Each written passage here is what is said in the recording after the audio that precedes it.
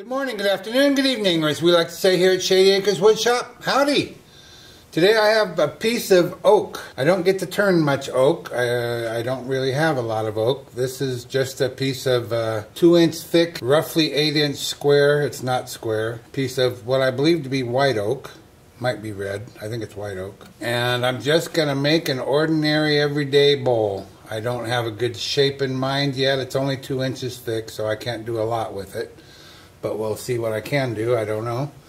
And uh, maybe we'll try and decorate it up with some color, or I don't, I don't know that either. I, I very seldom turn anything that looks like this. Usually, what I turn is in its natural state, bark on, natural edges, that sort of thing. Uh, this this piece was just sitting on the shelf over here, and I've been wanting to turn some oak, and I found it, and I'm going to turn it. So I've got it mounted up on a 3 8 inch woodworm screw. I'm not going to use tailstock support. We're going to start off at about 1300 RPM. Mask and face shield on. 5 8 inch bowl gouge. Stand by.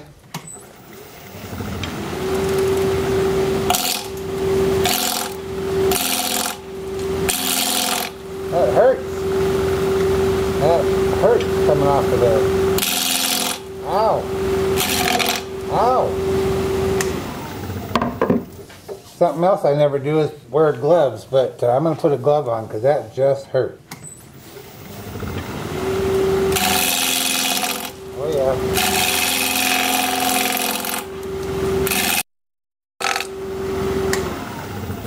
See if we're up here to the corners yet. Just about. I considered leaving it square, but I'm just in the mood to make a round bowl. Uh, well, we'll see. We'll see how it goes. Let me get a little closer here.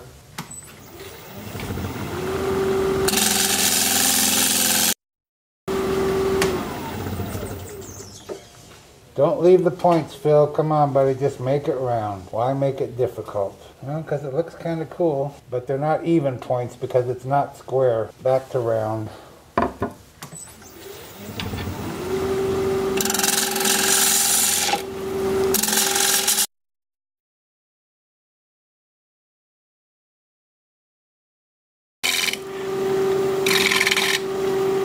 I'll tell you what, it's playing heck with the edge on my tool. I'm going to sharpen up. That's some hard wood. Okay, let's try that again.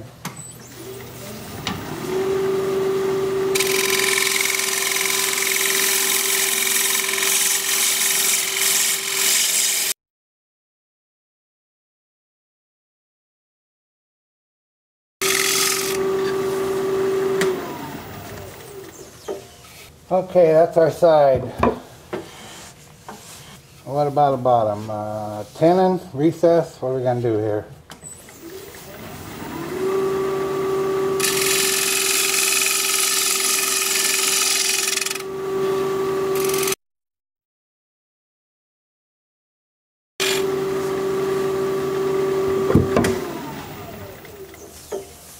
It's about as simple as it can get, huh?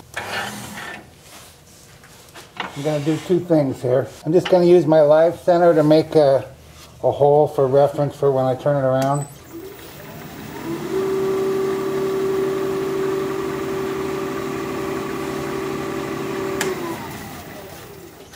Then I'm going to use my live center to make a reference for a tenon. And I don't need that anymore.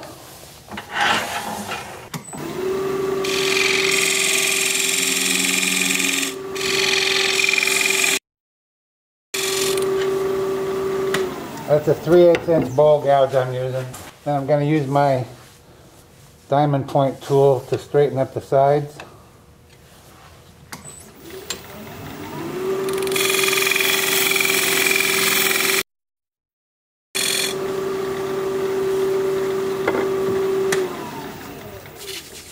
I think we're going to call this a 10 minute bowl. Just have a few minutes in the evening or quick afternoon on a Saturday.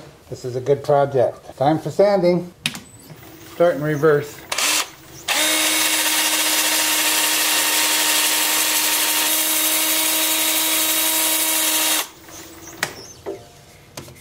So uh, starting with 80 grit, work up through 400 at least, and I'll bring you back when it's time to put some finish on here. Okay, maybe we'll call it the 20 minute bowl. I forgot about sanding.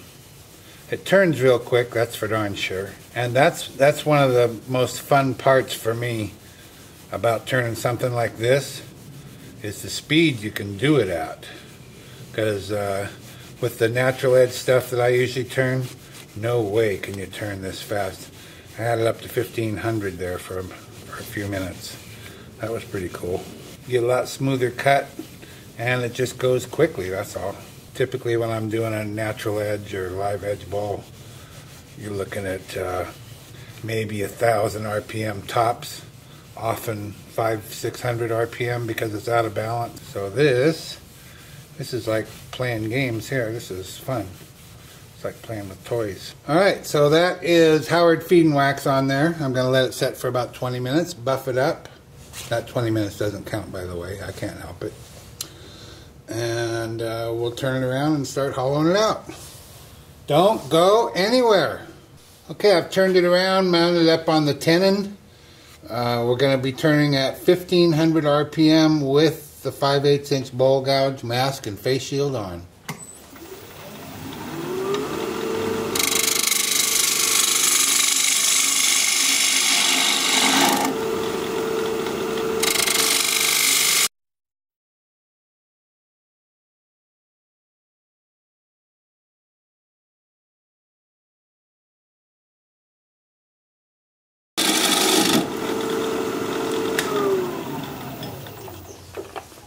Now, as I said, this there is some cracks in here, so I want to make sure this thing isn't going to blow up on me. There's one right there. Actually, it goes clear over here. But I don't see a matching one on the outside, so hopefully it doesn't go that deep. I'm already pretty thin here. I might just scrape this now before I go down any further. Good idea, Phil.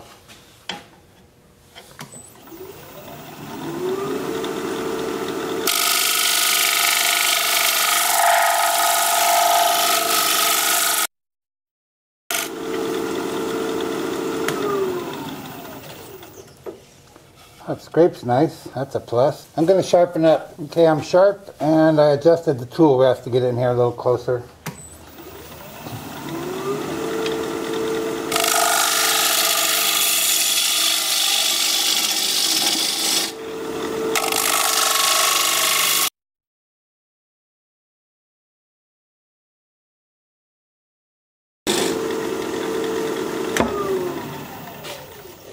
We might be approaching final thickness here. Holy crap. Might be. oh boy, good thing I checked. Uh, eighth inch or if that.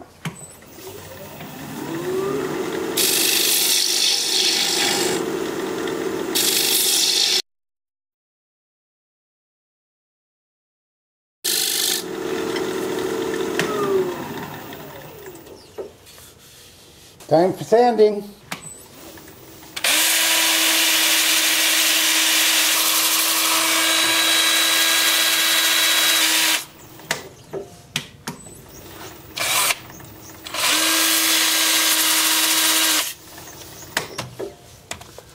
Well, that's what I'll be doing for a little bit. Uh, I'm starting at 80 grit. I'll work up through 400 just like I did on the outside, alternating between forward and reverse.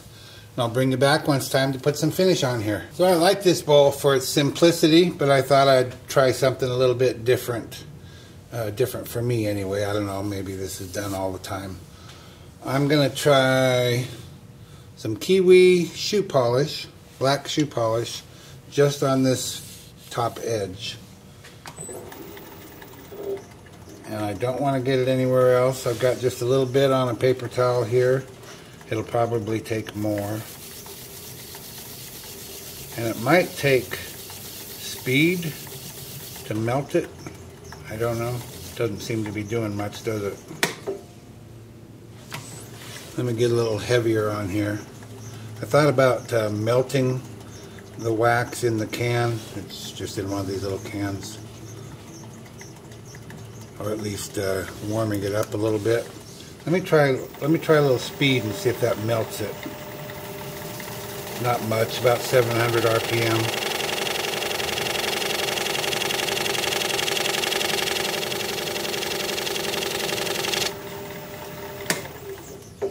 It's just not doing anything.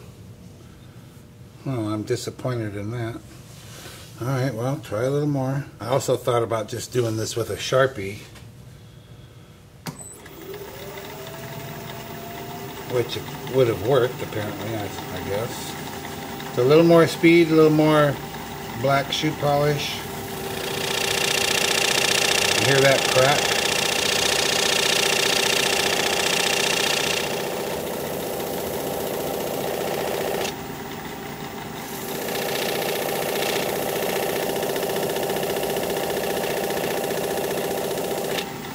I think a Sharpie would have worked better. this is hardly working at all. This is getting shiny. I'll try a little more speed. About 1200.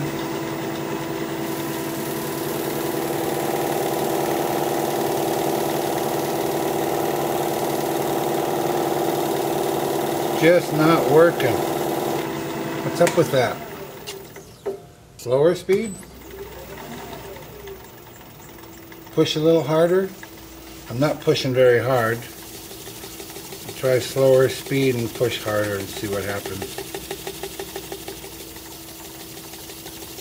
Probably somebody out there that knows how to do this, or maybe this is just a bad idea. Seemed like a good idea. Get a little more on the paper towel. I think I've heard of this before. I think I've heard people using shoe polish, but uh, maybe a different kind of wood. Maybe this is too too porous of a grain. Although I thought, I actually thought that would be a good idea. I thought it would get down in there. Well, it's starting to do something. Maybe that's enough. Is that enough? I'll try a little more. I just don't know. Never tried it. A little more. Uh, what, what were we? We're about 350. I'm going to turn it down to about 300 RPM. Press a little harder. Maybe that's all you want. It's just kind of a hint of black. But yeah, that, that looks kind of cool, I guess. It, it is just getting into the open pores. So it looks like uh, slow speed and uh, press kind of hard and kind of a heavy amount on the paper towel. Maybe that's working, at least on this oak. Maybe it wouldn't work at all on a on a fine grain wood like maple or something. Pushing pretty hard now. I think that's about as good as we're going to get. Yeah, well, you can see it, right? You can see it, I can see it. So now I'll get the Howard feed and wax and do the inside like I did the outside.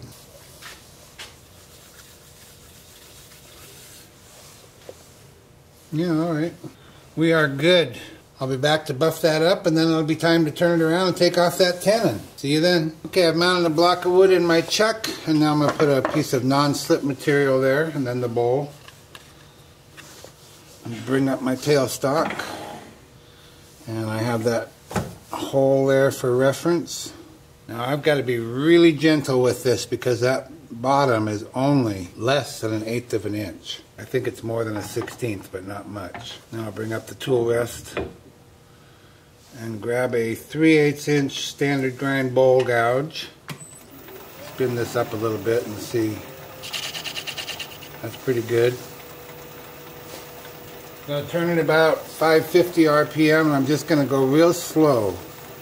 Just removing this tenon.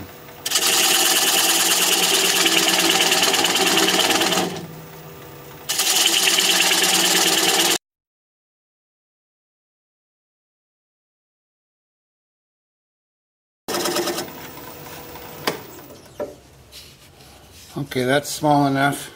Now I want to get a 3 8 inch swept back gouge to get rid of the rest of this.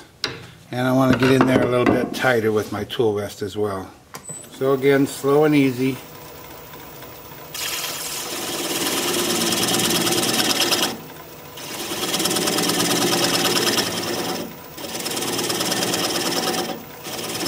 Now I'm going to slow it down to 200 and I'm just going to apply the bevel of the gouge against the bottom of the bowl pressure towards the headstock. Right hand on the gouge, left hand on the switch. And as soon as that little nub stops turning, then we'll know we're through.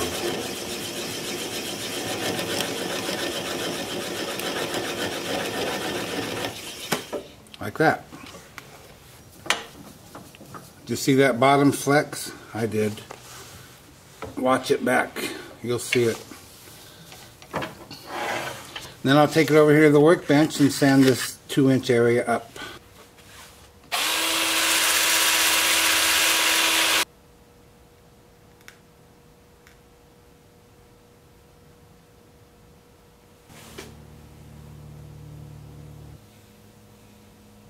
Well, there it is. We're going to call this one the one hour bowl. I decided to get realistic about it. You can turn it in 20 minutes, I would say, inside and out, because it's so simple, so quick and easy. There's the bottom all finished up. I like that little button that I left, little raised area. Just adds some interest. What do you think of the rim? Uh, I think that adds a little interest as well. It's not as dark as I thought it was going to be, but it's something. Something a little different. There are a couple of cracks in the bowl, but that doesn't bother me. They were there when I started and they're there when I left, and that's that. I could easily fill them. Not going to, don't want to. Can't make me. Little oak bowl, quick and easy. Try one. If you like this video, thumbs up please. I'd sure appreciate it. If you're a subscriber, I truly appreciate that. Thank you very kindly. If you're not a subscriber, you might consider becoming one. I put out regular videos about one a week, and I'd like to keep in touch. Your comments are always welcome, and I respond to all of them. So for now, this is Phil, Shady Acres Woodshop, signing off.